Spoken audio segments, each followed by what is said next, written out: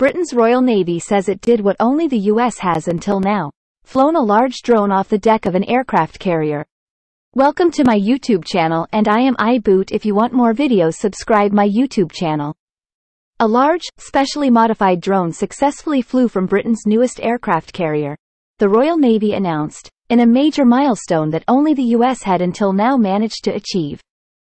In a trial off the coast of Virginia, the remotely piloted drone a Mojave unmanned aircraft took off from and landed back on the deck of the Queen Elizabeth-class HMS Prince of Wales while the vessel was undergoing training with U.S. forces, the Royal Navy said in a Friday statement. Mojave drones were developed from the MQ-1C Grey Eagle and MQ-9 Reaper and are adapted for short takeoffs and landings.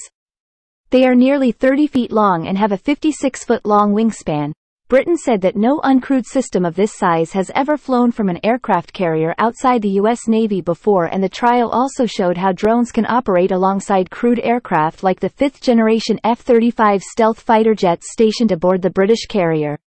The success of this trial heralds a new dawn in how we conduct maritime aviation and is another exciting step in the evolution of the Royal Navy's Carrier Strike Group into a mixed crewed and uncrewed fighting force Rear Admiral James Parkin who helped plan the trial, said in the statement.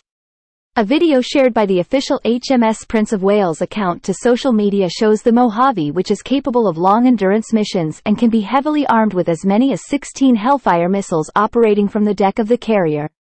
General Atomics, which developed the Mojave Grey Eagle and Reaper said the demonstration took place on Wednesday and included takeoff circuits approaches and the landing. Seeing our Mojave operate successfully in this environment opens myriad new ways our aircraft can be used to support multi-domain naval operations the company wrote in a statement. By giving unmanned systems the capacity to make short takeoffs and landings, it added these aircraft can operate in areas that might otherwise not be possible. The Royal Navy's second Sea Lord Vice Admiral Martin Connell said unmanned systems represent the next logical step to making sure that the maritime force is capable of fighting in an increasingly complex operating environment. It's not the first time that the Royal Navy has flown a drone from one of its ships it has done so for years but the Mojave is significantly larger and more complex than the other systems. The Mojave trial is also one of several groundbreaking firsts involving drones and aircraft that have taken place aboard the HMS Prince of Wales in recent weeks during its ongoing deployment. In September a drone delivered cargo to the aircraft carrier and then returned back to the British mainland.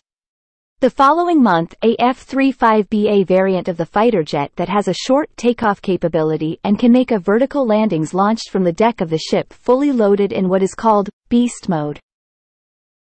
Thanks for watching like this video and subscribe my YouTube channel.